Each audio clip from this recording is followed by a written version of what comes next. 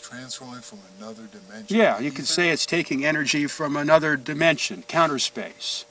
There, there's no energy actually. You can't. Most of it you can't even measure in outer space or see. You can't see. No, you can't see the sun in free space.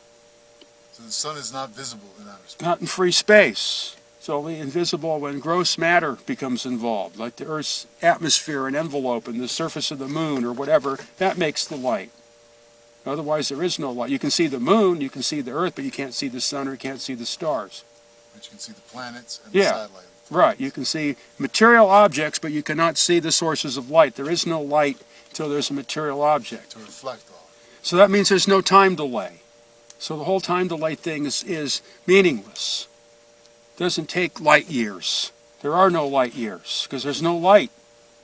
So that, that, that means that the light you see from the distant stars isn't four million years old. It could be only minutes old. It could be instantaneous. All the theories collapse when you can't see the stars in outer space. All right, let's go back to the phones. This is our final segment. that's going to go by quickly. Steve is in Ontario, in Canada. Hi, Stephen. Go ahead. Hey, George. Thanks for taking my call. I've been listening to you since when you started and Art before that. Thanks Oh, for taking you. my call. You're welcome. Uh, a qu- question about the electric universe theory is that I've heard because humans can only see, uh, they can't see direct light, they can only see reflected, that if you are in space, humans cannot see the sun or the stars. Uh, I wonder if David has any comments about that. So, sort of like you hold a flashlight up by a campfire straight up to the sky, you don't see anything, but if the smoke passes through it, you do see. I don't know if I'm making any sense, but Yeah. this is what I've heard about the electric universe. Could you speak to that, please?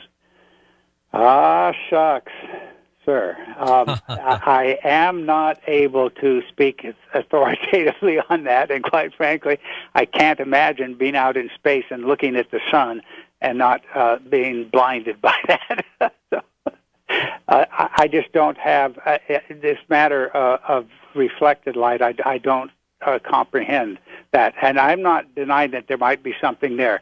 It's just a, a question of physics that I, I've never po- posed myself to others, and and maybe I ought to go uh, pose it tomorrow to Wal. I'm sure he'd have an answer for you. yeah.